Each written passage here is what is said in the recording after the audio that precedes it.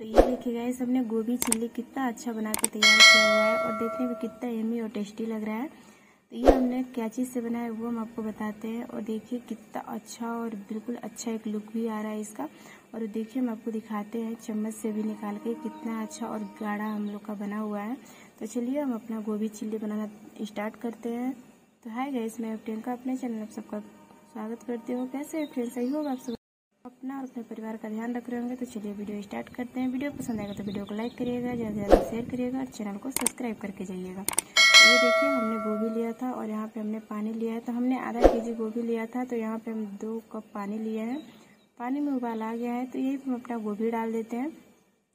और गोभी को हल्का सा हम पका लेंगे। ज़्यादा हमें नहीं पकाना है, दस से बीस परसेंट पका लेंगे, ताकि इसमें के जो कीड़ा वगैरह होंगे, वो भी बाहर निकल जाएँगे। हमारा गोभी है जो हल्का सा सॉफ्ट हो जाएगा। तो इसे हम निकाल के छन्नी में छान लिए हैं। आप किसी तरह का एक बर्तन का उपयोग करके इसे छान लीजिए। और यहाँ पे हमने एक साफ़ बोल लिया है। उसमें हम डाल रहे हैं चार बड़े चम्मच कॉर्नफ्लोर और दो बड़े चम्मच मैदा कोटिंग के लिए।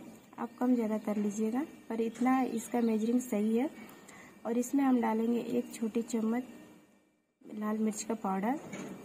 आप ज़्यादा तीखा खाना चाहते हैं तो लाल मिर्च का पाउडर बढ़ा सकते हैं। और यहाँ पर डालते हैं एक छोटी चम्मच अदरक लहसुन का पेस्ट। और इसमें डालेंगे नमक। नमक थोड़ा सा डालेंगे क्योंकि हमें सॉस में भी नमक होता है, आपको पता होगा। तो नमक का थोड़ा ही इस्तेमाल करेंगे और इस सबको अच्छे से मिक्स करेंगे पानी डाल के।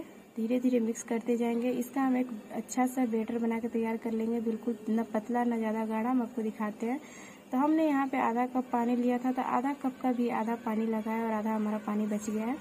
तो यहाँ पे जो हमने अपना गोभी को रखा हुआ था, उसको हमने इसमें कोट कर लिया।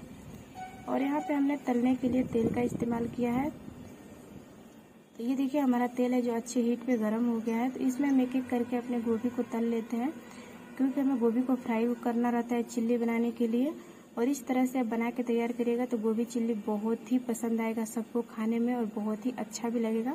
एक बार इस तरह से ज़रूर बनाइएगा और मुझे बताइएगा कि आप सबको कैसा लगा गोभी चिल्ली तो ये देखिए, हमने इसको अच्छे से प्लट भी दिया है दूसरी साइड से भी और अच्छे से ये सीख जाता है इसको सेकने में ज़्यादा टाइम नहीं लगता है। आप मीडियम आँच पे एक मिनट से भी कम में ये अच्छे से सीख जाता है और इसे हम निकाल लेते हैं। निकाल के बाकी बचे हुए को भी तल लेते हैं। तो यहाँ पे हमने ये थोड़ा सा तेल रखा हुआ है। इस तेल को कम कर लेंगे और यहाँ पे चलिए देखते हैं चिल्ली बनाने के लिए हमने क्या क्या लिया है। तो यहाँ पे हमने एक शिमला मिर्च को बारीकी काट लिया है और यहाँ पे थोड़ा सा अदरक का टुकड़ा हमने लिया हुआ है। देखिए, एक से दो इंच का अदरक का टुकड़ा हमने लिया हुआ है और यहाँ पे हमने प्याज लिया हुआ है, एक प्याज। और यहाँ पे देखिए, तेल हमने सिर्फ़ एक चम्मच रखा है, ज़्यादा तेल का इसमें इस्तेमाल नहीं होता है। तो यहाँ पे हमने डाल दिया अदरक का टुकड़ा, जो हमने कट करके रखा हुआ था। आप कद्दू कस करके भी ले सकते हैं या अदरक लहसुन का पेस्ट भी ले सकते हैं। तो यहीं पे हम प्याज, शिमला मिर्च सब डाल देते हैं और सबको अच्छे से भून लेते हैं। ज़्यादा हमें प्याज और शिमला मिर्च को नहीं पकाना है, क्योंकि चिल्ली या मंचूरियन में कच्चापन में ही अच्छा स्वाद आता है। तो इसीलिए इसे हल्का ही पकाएँगे। और यहाँ पे हमने सॉस का इस्तेमाल किया है तो हम एक छोटी चम्मच सॉस डाले हैं। और एक छोटी चम्मच यहाँ पे हमने डाला है चिल्ली, ग्रीन चिल्ली का सॉस। और यहाँ पे हम देखिए डालते हैं हल्का सा। आपको दिखाते हैं विनेगर, एक छोटी चम्मच। आप सॉस अपने अनुसार सेजवान चटनी है आपके पास वो भी डाल सकते हैं। और यहाँ पे हमने टोमेटो केचप डाल दिया, दो बड़े चम्मच भर के।